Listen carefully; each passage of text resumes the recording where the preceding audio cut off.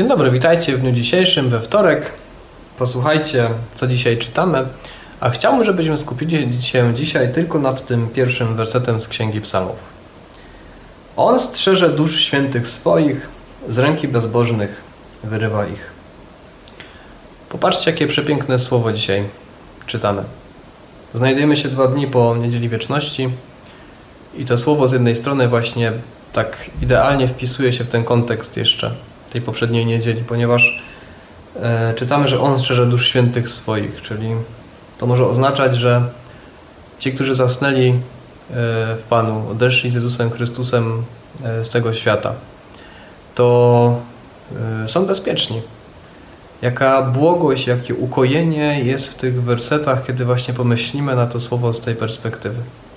Coś niesamowitego. Ale z drugiej strony e, odnajdujemy też te słowa, ich zastosowanie właśnie w naszej doczesności. Z ręki bezbożnych wyrywa ich. To oznacza, że jeśli ktoś pała do ciebie mm, nienawiścią albo knuje przeciwko tobie jakiś spisek, albo złości się na ciebie i chętnie by ci coś zrobił, e, to myślę, że w tych wersetach jest takie niesamowite Boże zapewnienie, że to nie ręka tego człowieka, który e, źle tobie życzy, jest z tobą, ale ręka Boża jest z tobą i ona wyrywa cię e, z tej sytuacji, wyprzedzając to, co ma nadejść. To jest takie też właśnie niesamowite słowo.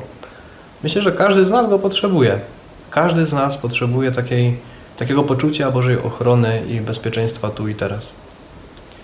Droga siostro i bracie w Jezusie Chrystusie, życzę Ci z jednej strony, żebyś doświadczył takiego ukojenia e, i takiego bezpieczeństwa, że Twoja dusza, właśnie to tak już kilka razy dzisiaj powiedziałem, w Jezusie Chrystusie jest bezpieczna.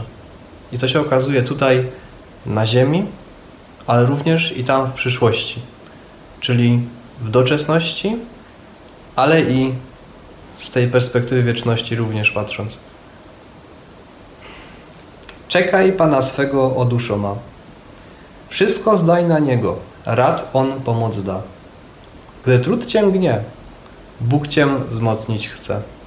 On ufności Twojej nie zawiedzie, nie. Wieczna ostojo, Zbawco swych sług, zbaw i duszę moją, boś Ty mój Bóg.